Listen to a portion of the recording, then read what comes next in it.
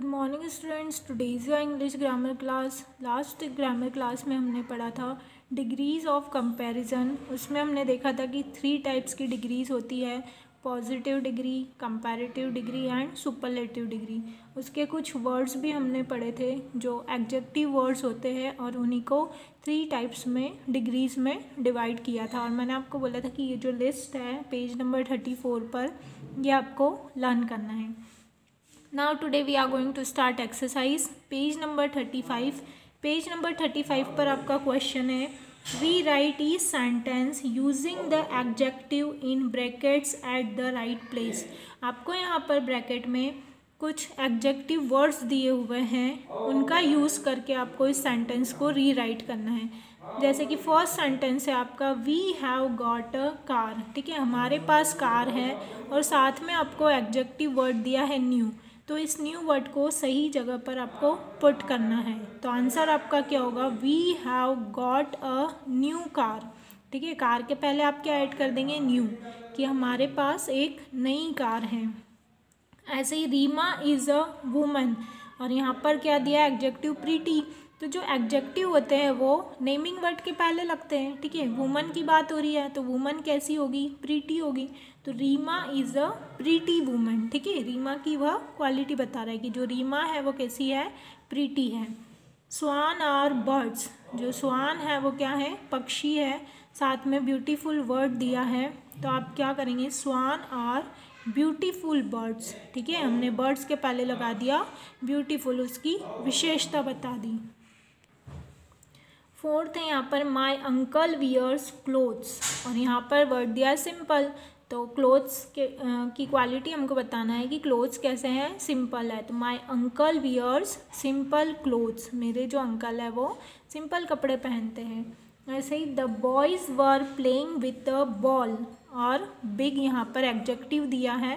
तो the boys were playing with a big ball जो लड़के हैं वो एक बड़ी सी बॉल के साथ खेल रहे थे। तो यहाँ ये आपको बुक में प्लेस दी है। ये आंसर आप बुक में ही कंप्लीट करेंगे।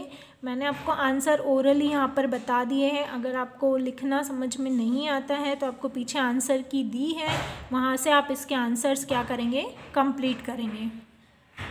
Now your next question is fill in the blanks with the और देन हमने डिग्रीज पढ़ी थी तो उसमें क्या देखा था? जो कंपेरेटिव डिग्री होती है, उसके आफ्टर में द यूज़ होता है सॉरी देन यूज़ होता है। और जो सुपरलेटिव डिग्री होती है, उसके बिफोर में द यूज़ होता है।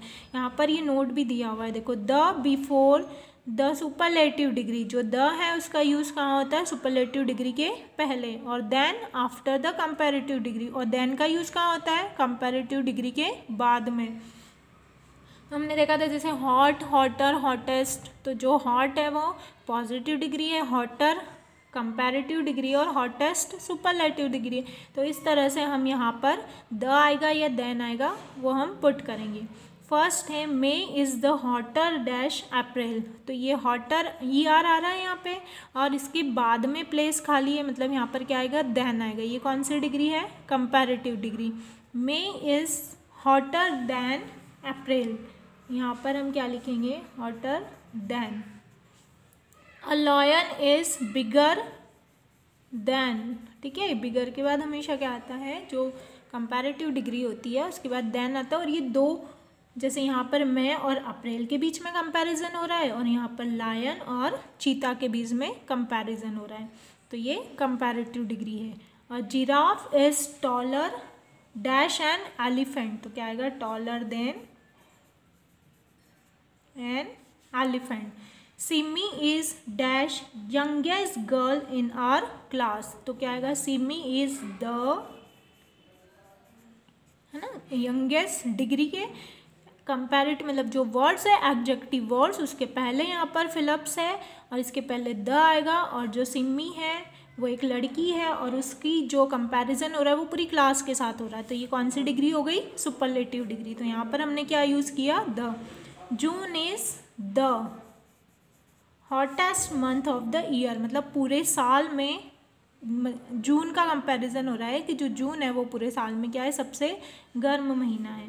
The Ganga is dash longest river in India. Bharat में सबसे लंबी नदी कौन है? गंगा। तो यहाँ पर भी गंगा का जो कंपैरिजन हो रहा है वो सारी नदियों के साथ हो रहा है। तो ये कौन सी डिग्री हो गई? सुपरलेटिव डिग्री तो इस तरह से हम दो तीन चीज़ों के थ्रू इनको पहचान सकते हैं, ठीक है? दो चीज़ों के बीच में कंपैरिजन होता है तो कंपैरेटिव डिग्री होती है और उसके बाद में देन का यूज़ होता है और उसमें ई e आर आता है लास्ट में ओके और सुपरलेटिव में सुपरलेटिव के पहले द का यूज़ होता है और सुपरलेटिव में जिसका कंपैरिजन होता है वो पूरे ग्रुप के साथ कंपैरिजन होता है। तो यहाँ पर ये आपको बुक में ही कंप्लीट करना है। Now come on page number thirty six page number thirty six पर आपका क्वेश्चन है choose the correct word for each blank आपको यहाँ पर जो ऑप्शन गिवन वर्ड्स दिए हैं उसमें से आपको करेक्ट वर्ड चूज़ करना है फिलअप्स के लिए कि कौन सी डिग्री का वर्ड यूज़ होगा। ठीक है अगर पॉजिटिव uh, डिग्री का सेंटेंस है तो आपको सिंपल वर्ड यूज़ चूज़ करना है। अगर कंपैरेटिव है तो ई e आर लगेगा उसमें और सुपरलेटिव है तो ई एस टी लगेगा। फ़र्स्ट है this is and dash exercise तो ये एक सिंपल सेंटेंस है कि ये क्या है? एक एक्सरसाइज है। ईजी ईजियर ईजीएस्ट तो यहाँ पर किसी का भी कंपैरिजन नहीं हो रहा है। तो यहाँ पर क्या आएगा? This is an easy exercise second है who is the dash girl in your class ठीक है? तो the girl in your class girl का कंपैरिजन हो रहा है, पूरी क्लास के साथ हो रहा है। तो पूरी क्लास के साथ हो रहा है तो कौन सी डिग्री होगी? सुपरलेटिव तो क्या आएगा? टॉल टॉलर या टॉलेस्ट तो इसमें आएगा tallest who is the tallest girl in your class three है the rose is the dash of all flowers ठीक है? जो रोज़ है, उसका कंपैरिजन पूरे फ्लावर्स से हो रहा है, सारे फूलों से हो रहा है। तो लवली लवलियर लवलीएस्ट तो क्या आएगा? The rose is the loveliest of all flowers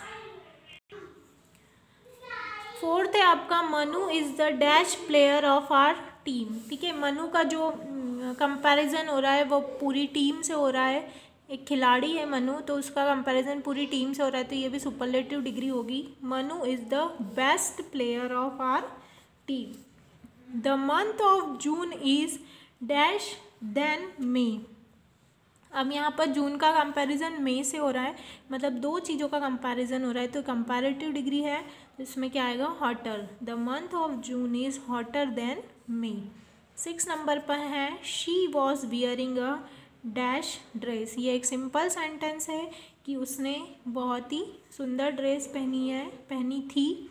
तो she was wearing a beautiful dress इसमें किसी का किसी से कंपैरिजन नहीं हो रहा है। ये एक सिंपल पॉजिटिव डिग्री है।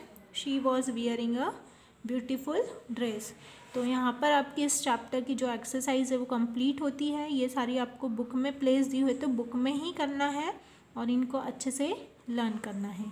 Thank you